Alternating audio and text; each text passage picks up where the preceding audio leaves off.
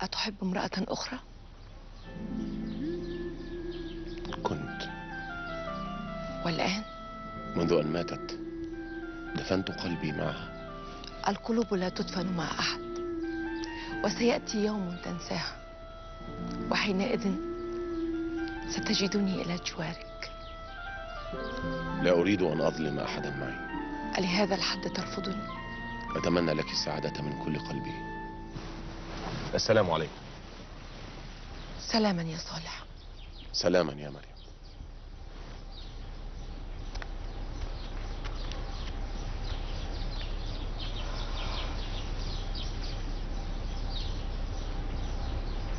نكمل يا غزالي. كتب الشافعي كتابا في علم أصول الفقه. هل لديك فكرة عنه؟ تعني الرسالة يا شيخنا؟ نعم. قرأتها بإذن الله. ما هي قواعد التشريع عند الشافعي إذا؟ يقول الإمام الشافعي إن الأصل في التشريع هو القرآن والسنة فإن لم يكن فقياس عليهما. وإذا اتصل الحديث برسول الله صلى الله عليه وسلم وصح الإسناد فهو المنتهى والإجماع أكبر من الخبر المفرد. جميل. جميل. هل يود أحد منكم أن يسأل الشيخ الغزالي في الفقه أو في علم أصول الفقه. أنا يا مولانا أنا أود أن أسأله. قل لي يا غزالي ما رأي الشافعي في الإيمان؟ الإيمان في رأي الشافعي قول وعمل ولا يكفي أن ينطق اللسان ولكن لابد أن يصدقه العمل لقوله تعالى إن الذين آمنوا وعملوا الصالحات هذه الآية تحديدا تحديدا تؤكد أن الإيمان لا يشترط العمل. ماذا؟ الآية تقول إن الذين آمنوا وعملوا الصالحات. أعرف أعرف. ولكن ألم تلاحظ وجود حرف الواو بين قوله تعالى الذين آمنوا وقوله عملوا الصالحات؟ وماذا في ذلك؟ الواو هنا تفصل بين الإيمان وعمل الصالحات. الواو هنا حرف عطف. يربط ما قبله بما بعده ولا يفصل بينهما. هذا رأيك أنت؟ لو أن الواو تفصل ما قبلها عما بعدها لكنت أنت تعبد إلهي. ماذا؟ جاء في قوله تعالى رب المشرقين ورب المغربين.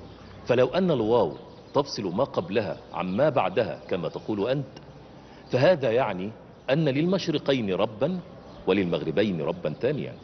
وكنت أنت تعبد إلهي كفى يا علي كفى. أيها الشيوخ الأجلاء إنني بسم الله أعلن لكم أني قد أجزت الشيخ محمدا الغزالي لتدريس كتاب الورقات في علم أصول الفقه والأصول. شكر الله لكم. مبارك يا محمد. مبارك. بارك الله فيك يا حرسي بارك الله بارك الله فيك. بارك الله فيك يا شيخ. بارك الله فيك يا شيخ. يا علي. بارك الله فيك. يا علي انتظر. انتظر إلى أين؟ دعني لن أدعك. قلت لك دعني لا يا علي. الأمر لا يصل إلى حد البكاء. بل يزيد. هذا الإنسان كان أصغر مني في مدرسة طوس وكان لا يجد قوت يومه كان يتيما يعيش في دار لرعاية الأيتام. كان لا شيء إلى جواري وكنت أنا أفضل منه في كل النواحي. فكيف يلحق بي؟ ثم يسبقني؟ يا علي أنت بحاجة لإعادة النظر في الأمر كله. أن يكون محمد الغزالي يتيما أو فقيرا فهذا لا ينقص من قدره شيئا. المهم أنه قاوم ظروفه واستطاع أن يحصل على الإجازة من إمام الحرمين. ولماذا هو بالذات يحصل عليها قبلي؟ دع عنك الغزالي. واجتهد أنت في التحصيل حتى تفوز بالإجازة بتفوق وحينئذ يكون رأسك برأسه. لا يا حرسي لا. لن أنجح طالما هذا الولد أمامي. بل ستنجح يا علي بإذن الله. دعني الآن. علي علي. لا حول ولا قوة إلا بالله. مولاي. رسولان من قبل الوزير نظام الملك. أدخلهما. ارسلوا الرسولين.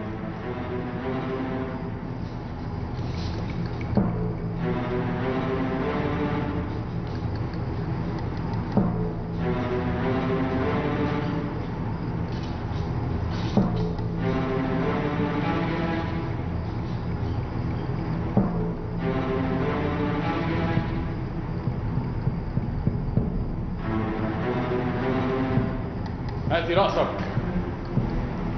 وأنت. حنيا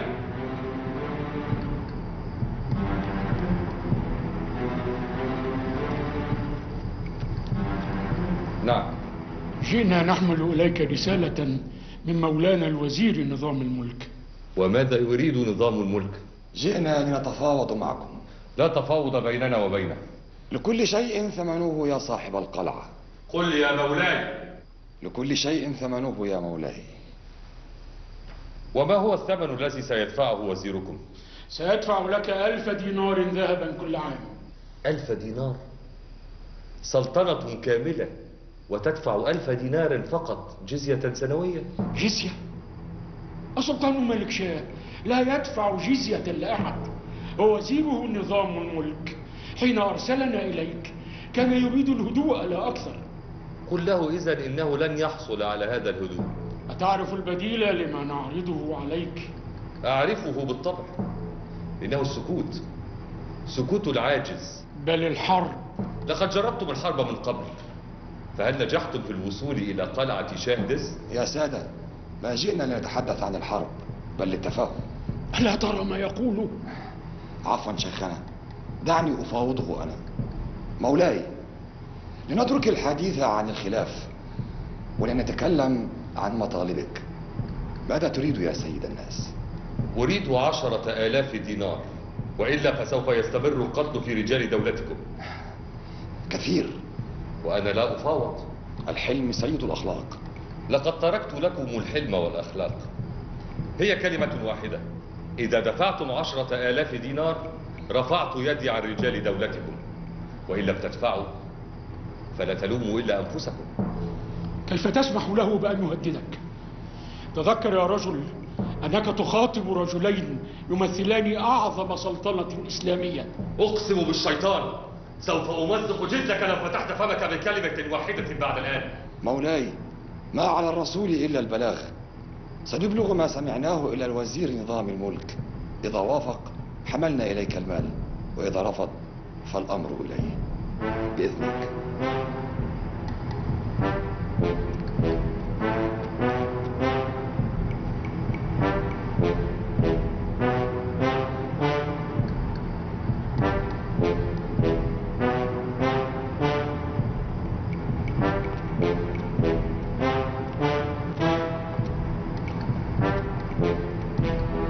أدفع عشرة آلاف دينار لهؤلاء السفلة؟ مستحيل. لو شئت رأيي يا مولاي. ادفع له كيف؟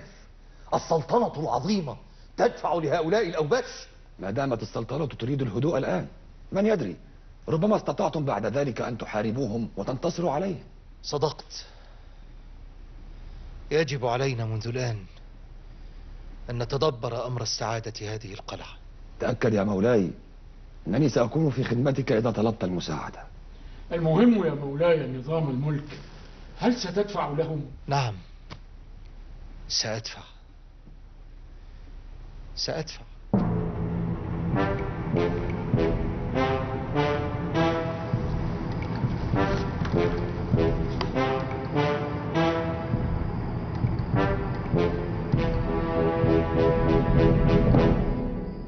حسنا. قل لنظام الملك إننا سوف نرفع يدنا عنه وسوف نترك له رجاله لمدة عام. لكن إياه والغدر فلو فكر مجرد التفكير في أن يغدر بنا سوف يجد منا ما يفوق تصوره. بإذنك.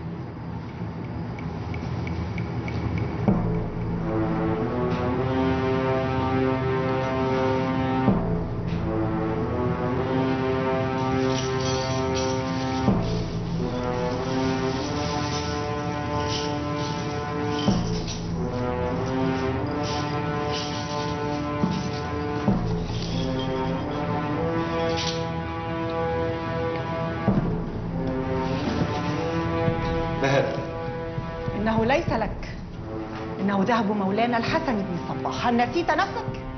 لكن لا أحد يجرؤ على الحديث بعد الحسن بن صباح. وإلى متى سنظل؟ لا تكمل الكلمات لها أجنحة تطير بها إلى أذن الزعيم ماذا تقول يا محمد؟ تسافر؟ إن لي عما في صحبتك يا مولانا وأشعر بالحنين لأخي وأهلي. لقد تعودت عليك لطول الصحبة. وأنا أيضا تعودت عليك ولكن لابد أن أسافر. المهم ألا تتأخر. بل سأتأخر. لما؟ إنني أريد أن أؤلف كتابا أضع فيه ما تعلمته من الفقه وأصوله. حقا؟ تود أن تؤلف في هذه السن المبكرة؟ عظيم. لا بأس إذا في أن تتأخر. المهم ألا تأتي دون الكتاب. إن شاء الله.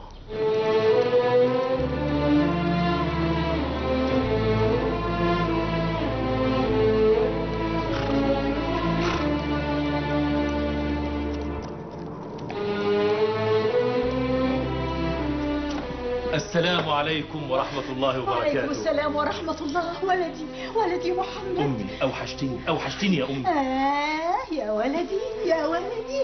لو كنت أوحشتك حقا ما بقيت كل هذه المدة دون سؤال عني يعلم الله أني لا أنساك أبدا ولا أكف عن الدعاء لك في كل صلاة. اجلس اجلس يا قرة عيني. سأجهز لك لقمة لابد أنك جائع. بل سأنتظر حتى يجيء أحمد. أين عم نوح؟ عمك نوح سيأتي حالا. أما أخوك فسأنادي عليه ولدي ولدي حبيبي. يا شيخ أحمد يا شيخ أحمد.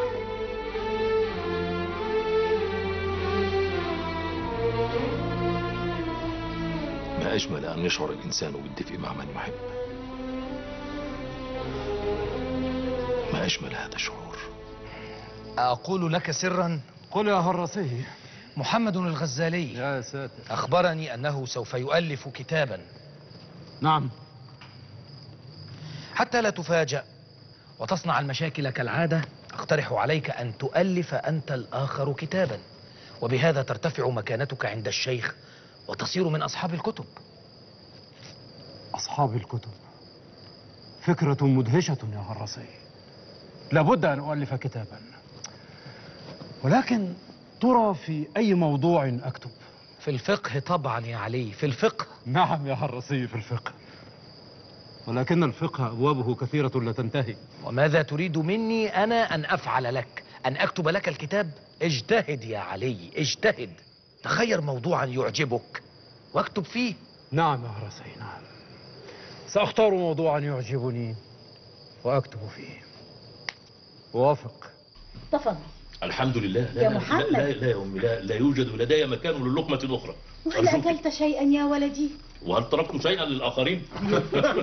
بالهناء والكفاء يا ولدي. بارك الله فيك يا عم نوح. منذ متى لم نجتمع هكذا يا محمد؟ طلب العلم يا أخي يستحق الغربة. زادك الله من علمه. تعال يا محمد. تعال لتغسل يديك. شكرا يا أمي. تفضل. وتعرف يا محمد أنا لم أفكر في هذه الرحلة إلا لشيء واحد التعرف على الصالحين من أهل الله. لكل منا طريقه صدقت. بالمناسبة سأنتهز فرصة وجودي هنا لأؤلف كتابي الأول. تؤلف كتابا؟ نعم نعم. شكرا. ألا ترى أن هذا سابق الأوان لا لا لا لا. إنني أشعر أن كتابي الأول سيكون فتحا. وسينبه الجميع إلى مولد عالم لم ينتبهوا إليه من قبل. طموحك لا ينتهي يا محمد. لولا طموحه ما صار معيدا للإمام الجويني. قل لي يا ولدي هل ستكتب في الدين؟ نعم يا أمي سأكتب إن شاء الله في علم أصول الفقه. لا يصح أن أدرس شيئا ولا أؤلف فيه أليس كذلك؟ ولكن شيخك له مؤلفات شهيرة في هذا العلم. نعم ولكن الله أعطاني عقلا مثل ما أعطاه. ثم إنه مما يحسب للشيخ أن يكون تلميذه نابغا. لا تسمع لأحد يا محمد. اكتب ما شئت واملأ الدنيا كتبا حتى أقول للناس إن ولدي عالم وإن كتبه يتعلم منها عشرات التلاميذ. سأكتب إن شاء الله يا أمي ببركة دعائك.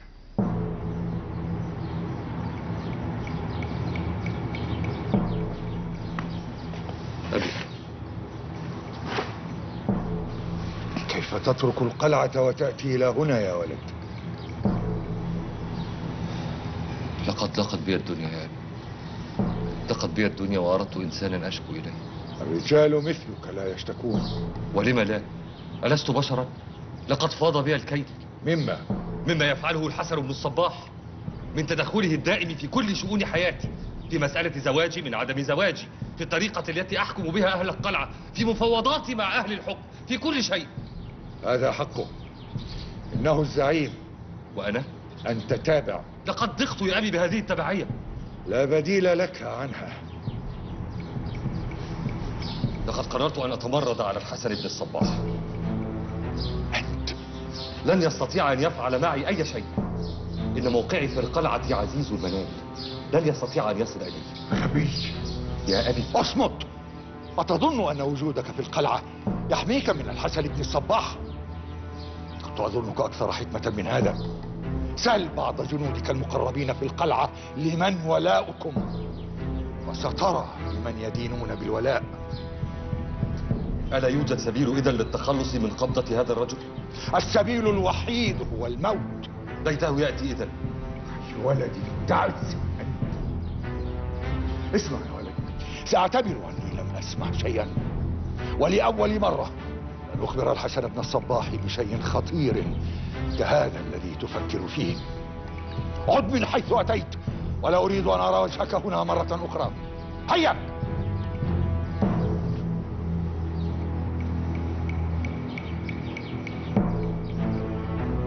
المؤكد أن هذا الولد قد جن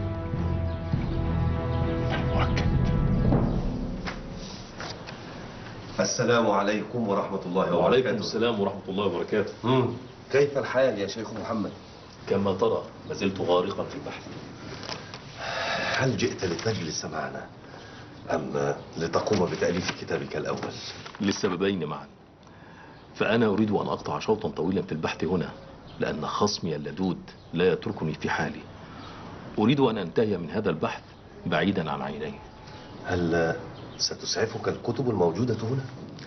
لا بأس بها فأنا لا أريد منها سوى ترتيب وتفصيل الموضوعات الفقهية حتى تكون وافية ومنطقية. أما الآراء نفسها فأنا أحفظها عن ظهر قلب. وعندما أضع ما في هذه الكتب إلى ما في رأسي ستكون الحصيلة هائلة. إذا قل لي متى ستبدأ؟ أريد أن أكون شاهدا على لحظة الميلاد. فلنبدأ الآن. إكراما لخاطرك. اكتب. المنخول من تعليق الأصول للشيخ محمد بن محمد بن محمد الغزالي غفر الله له. هذه الصفحة الثانية. بعد البسملة. بسم الله الرحمن الرحيم. الحمد لله رب العالمين. والصلاة والسلام على محمد نبيه وآله وصحبه أجمعين. فقد تقرر عند ذوي الألباب أن الفقه من أشرف العلوم وأعلاها قدرا وأعظمها خطرا. إذ به تعرف الأحكام ويتميز الحلال عن الحرام وهو على علو قدره. وتفاقم أمره في حكم الفرع.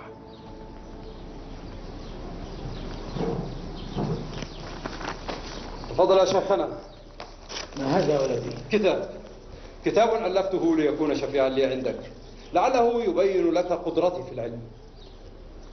القاطع الدامي في الفقه الإسلامي. ما هذا يا ولدي؟ قاطع ودامي؟ أي حرب؟ نعم يا شيخنا. حرب لا هوادة فيها. على من؟ على أصحاب المذاهب الفقهية الأخرى. يجب أن يعلم الجميع أن الفقه الشافعي الذي درسته لنا هو الفقه السليم وأن ما عداه لا من- تكمل. ما عداه ماذا؟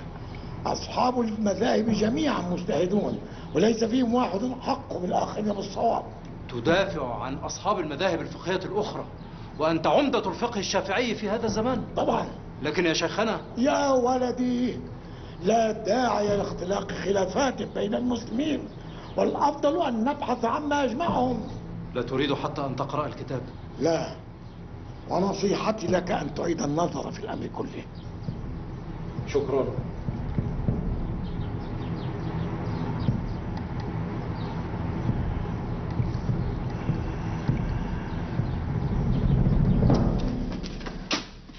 لقد تأخر الولدان. الغائب حجته معه. قال لي أحمد إنه لن يتأخر وإنه سيأتي بمحمد معه. لابد أنهما انشغل في أمر مهم. إن محمدا هذا لا يكف عن تعب قلبي أبدا أبدا. قلت إنه أتى في إجازة لأطمئن عليه وأراه بعد هذا السفر الطويل ولكن لا فائدة لا فائدة. الأولاد حين يكبرون يا فاطمة تكون لهم مشاغلهم الخاصة وعلينا أن نتفهم هذا. أنا لا أفهم إلا أن يكون أولادي أمام عيني يا أمي. يا عم. ها هما ها هما. السلام عليكم ورحمة الله. وعليكم السلام ورحمة الله وبركاته. تفضلا تفضلا. كيف حالك؟ عم عليكم يا عم لماذا تأخرتما هكذا؟ لقد سخنت الأكل أكثر من مئة مرة. ألم تقول إنكما ستأتيان مبكرا؟ التمسي لنا العذر يا أماه. لقد انشغلنا في الكتاب الأول لمحمد. حقا؟ هل بدأت تكتب الكتاب الذي وعدتني به؟ نعم يا أمي. بسم الله ما شاء الله. بسم الله ما شاء الله. أرأيت يا نوح؟ ولدي محمد صار الآن يكتب الكتب ليعلم الناس دينهم.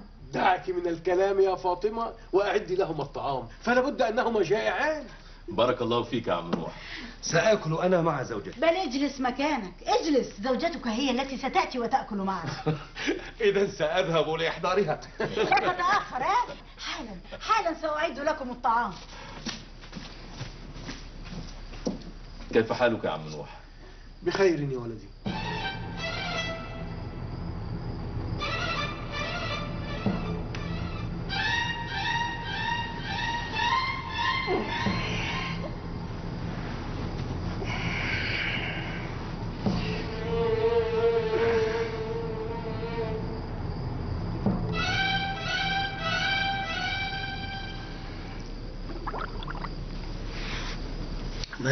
علي لقد تأخر الوقت ولم تنم بعد.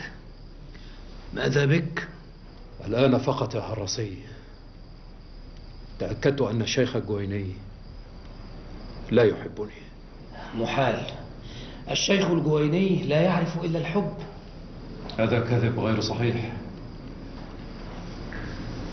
أنا أفكر أن أشكوه تشكو الشيخ الجويني لمن؟ للوزير نظام الملك صاحب هذه المدارس النظامية. هل جننت يا علي؟ ألا تعرف أن نظام الملك أنشأ هذه المدرسة خصيصا للشيخ الجويني؟ ولكنه لم يفكر أنه سيفرق بين طلبة العلم في هذه المدارس.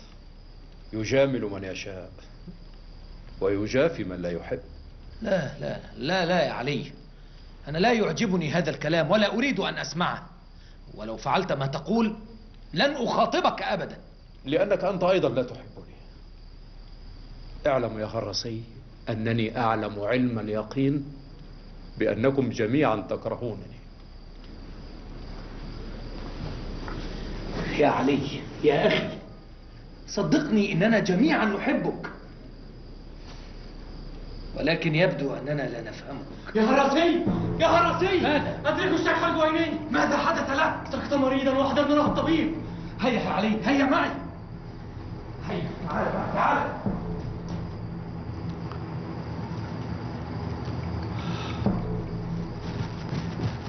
ما له يا حضرة الطبيب؟ كل شيء فيه مريض. عدا شيئا واحدا أي شيء؟ روح. إلى هذا الحد؟ وأكثر. إن الأمراض تأكل في جسده أكلا لا حول ولا قوة إلا بالله. لقد أعطيتوه نوما حتى لا يشعر بالألم. وحين يصحو سيكون أفضل. من الضروري أن لا يتحرك كثيرا. وألا يجهد نفسه. بصراحة نحن لا نقدر عليه. فهو لا يكف عن العمل. إن لم يسترح فلا أمل. لا أدري ماذا أقول ولكني سأحاول معه. بإذنك. تفضل.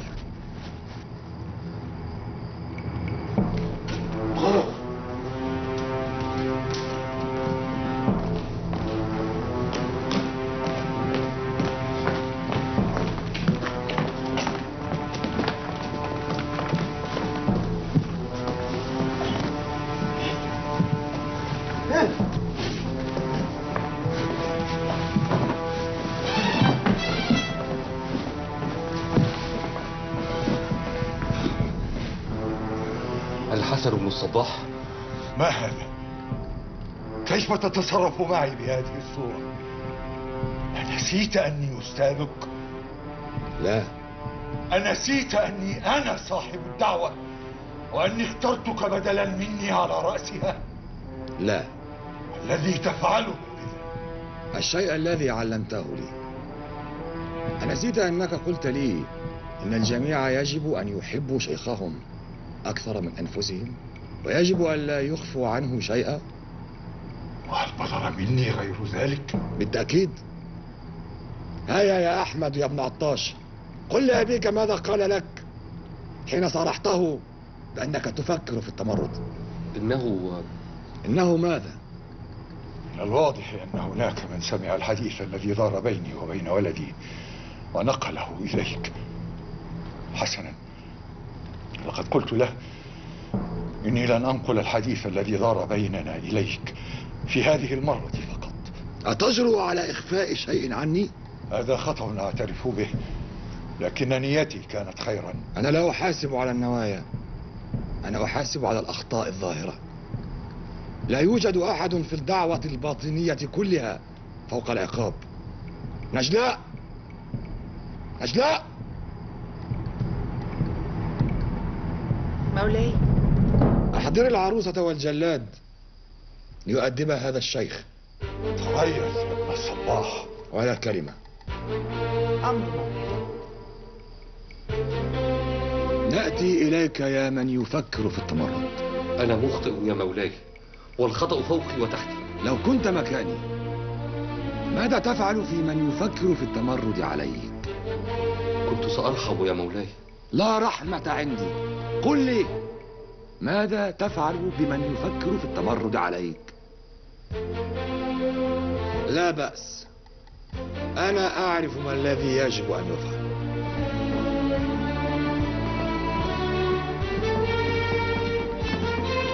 مولاي أعدوه للجلد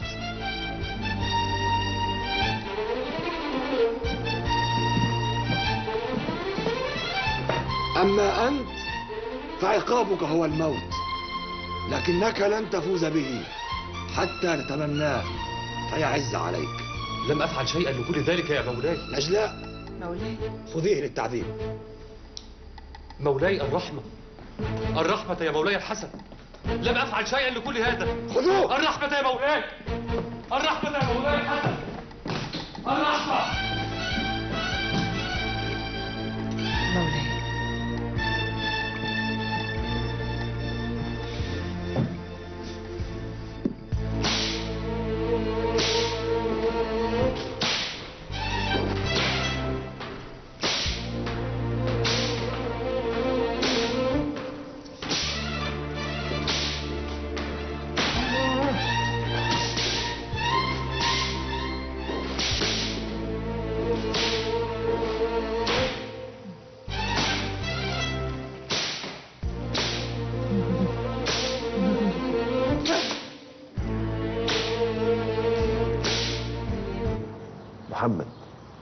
ألا يكفي ما كتبته اليوم حتى نعود إلى البيت؟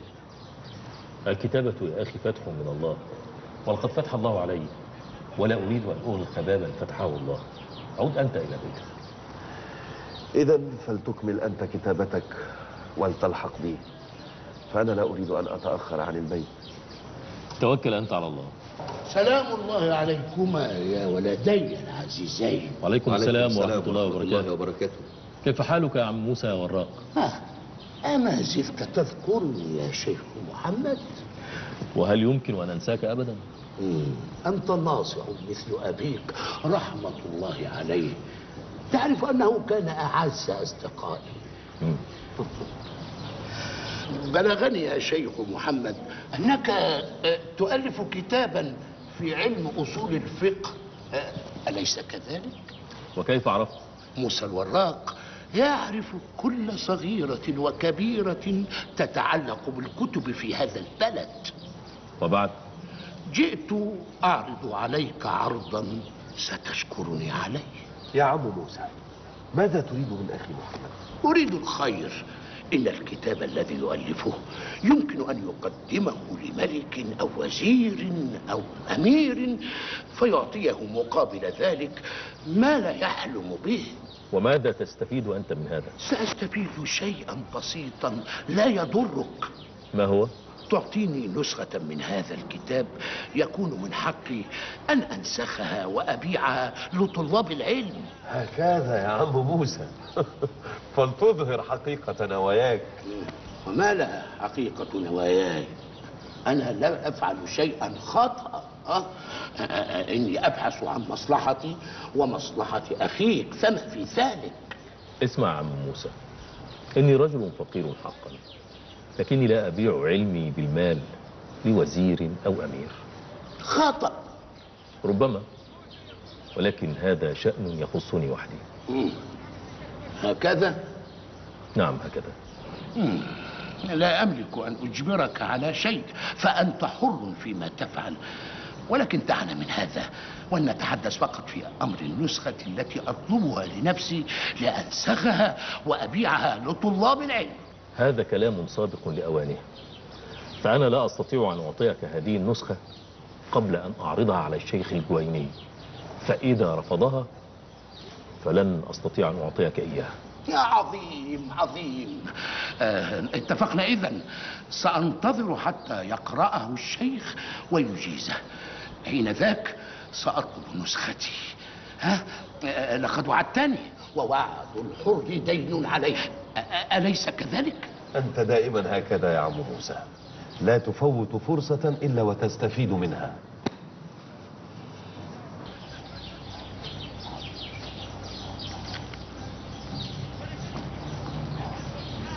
يا علي ألم تذهب إلى الشيخ الجويني في مرضه؟ لا لا. لما يا علي؟ لا أحب هذا الرجل. لم أذهب إليه. ولن أذهب. أتقول هذا عن الرجل الذي علمك؟ لا شأن لك. علمني أو لم يعلمني. ما لك أنت؟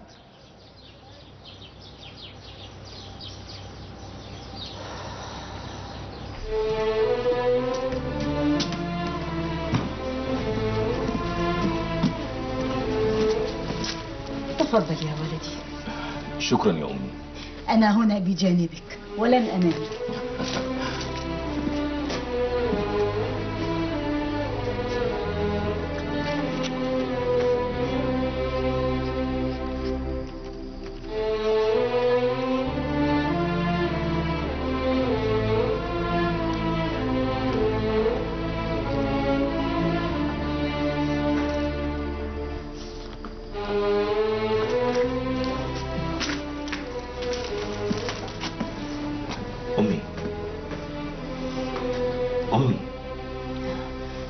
محمد. انهضي لتنامي لا لا. أنا ما زلت يقظة. أنت تقاومين. النوم سلطان. لا يغلبه أحد. ربما تحتاج شيئا. لن أحتاج شيئا. ثم إني سأسهر حتى الصباح. حتى الصباح؟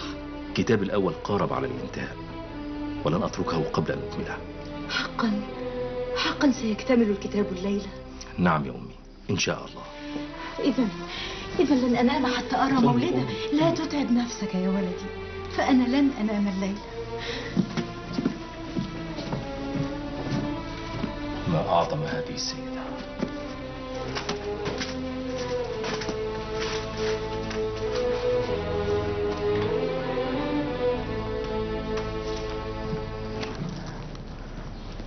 لا تتعب نفسك يا الراسي فسأخرج للتدريس. ولكنك لم تشفى بعد يا شيخنا. أنا في أحسن حال. ولكن الطبيب قال لابد من الراحة. الراحة هي موتي. إن حياتي التدريس والقراءة والكتابة والفتوى للناس فكيف تطلب مني أن أترك هذا كله؟ هذا هو الموت. ولكن الكلام ضرر عليك. الطبيب قال إنه غير لازم الآن. صدقني يا الراسي لو سمعت كلام الأطباء لانتهت حياتي منذ عشرين عاما. ضحك منهم وهيا بنا للقاء الأحبة هيا هيا هيا يا مولانا.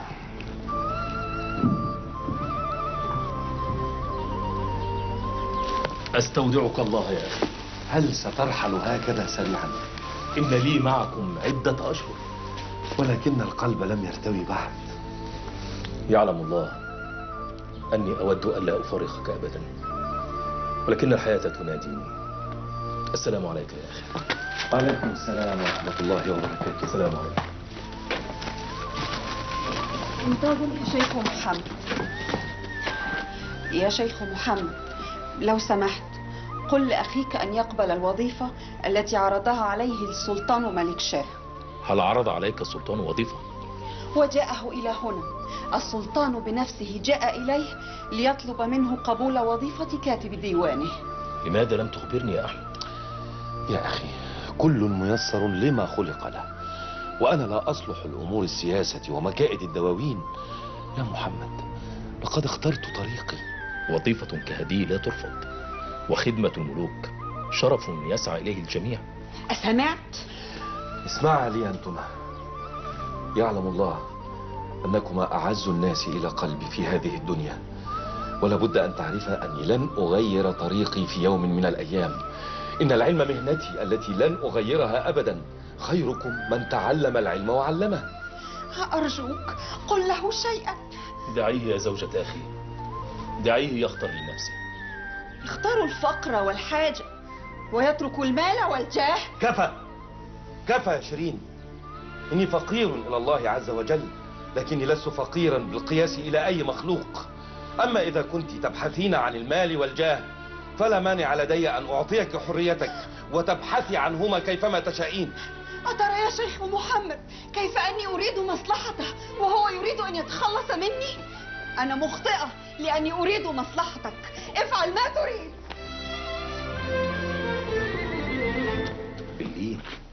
باللين يا شيخ أحمد.